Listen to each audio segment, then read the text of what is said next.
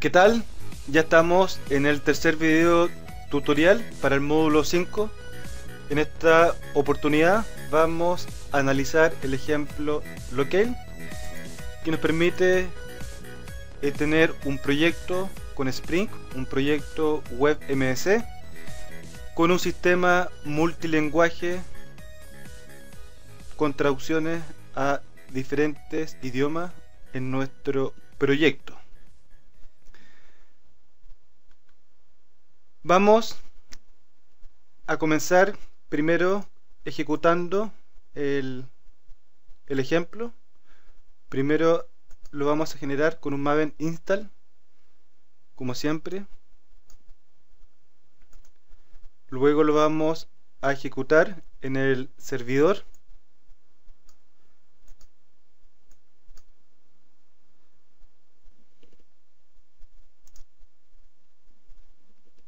Bien, y acá lo tenemos. Entonces acá tenemos una página con un menú que pasa por la URL el parámetro locale.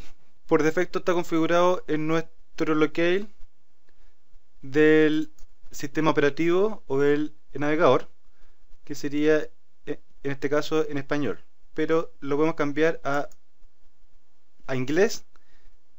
Entonces automáticamente en la URL pasa el locale de inglés ENUS y nos traduce o nos muestra el contenido en inglés y lo mismo en alemán entonces ahora nos podemos ir al, al ejemplo al formulario cuenta y está todo traducido en idioma alemán, incluso la moneda o, el currency. Ahora si lo si probemos español o o en inglés. Ahora en español muestra también en euro, ya que se refiere al español de España. Ahora bien, si usamos SCL, ahí automáticamente nos cambia al currency propio de la moneda CL de Chile, por ejemplo.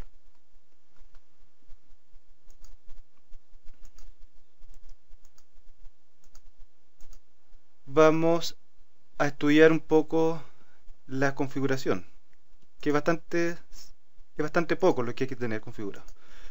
Primero es tener los mensajes property de idioma con el, con el prefijo mensaje y luego por cada archivo o lenguaje, es decir, por cada lenguaje vamos a tener un archivo con nuestro local.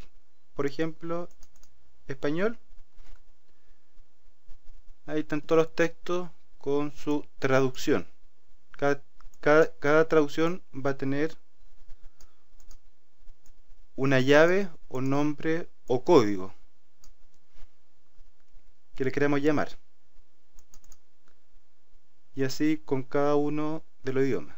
Lo importante es que este código sea el mismo en cada uno de los archivos. Lo que cambia es el texto, la traducción. Y tenemos uno siempre por defecto. En este caso el por defecto va a estar en español.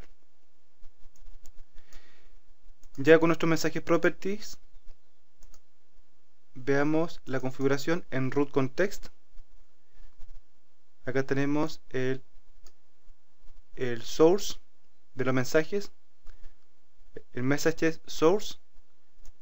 Y acá configuramos el nombre base.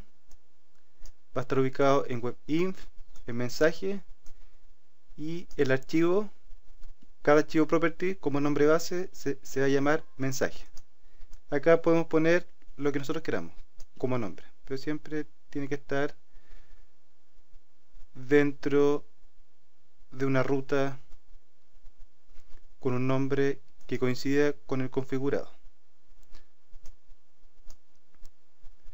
Luego en, en el serle context vamos a tener un interceptor que nos permite modificar o cambiar este locale mediante URL. Entonces hay un, un bin interceptor propio de Spring que se llama locale change interceptor, que es para cambiar el locale y es a través de un parámetro URL. Por defecto el parámetro es locale. Y también se puede modificar el parámetro en las configuraciones o en las properties del bin. Luego tenemos un cookie locale resolver que va a ser el medio de almacenamiento donde se va a guardar el locale del usuario. Puede ser por cookie o por sesión. Y eso es todo.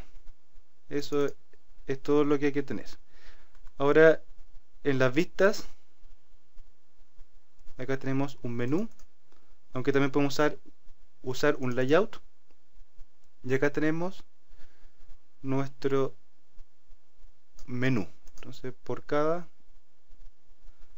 por cada idioma creamos un, una URL y pasamos el locale correspondiente a cada idioma. Inglés, español, alemán. Luego en nuestras vistas JCP, por ejemplo, en bienvenidos, en todo lo que es texto, en vez de poner el texto de forma directa, usamos el la etiqueta el de JCTL para los mensajes. Entonces acá ponemos FMT messages, el nombre clave y acá le ponemos el el código correspondiente al texto de la traducción que está en cada uno de los archivos property. Y lo mismo en el formulario. Y en cada una de las vistas que vamos a tener el texto multidioma.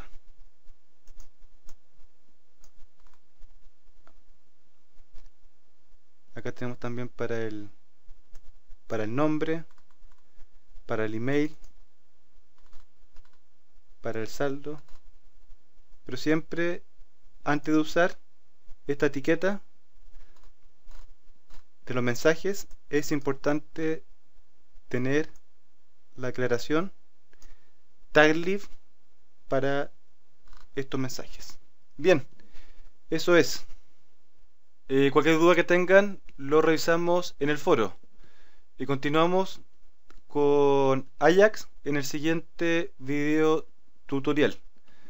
Por ahora llegamos hasta acá. Eh, les habló Andrés, el profesor del curso. Hasta la próxima.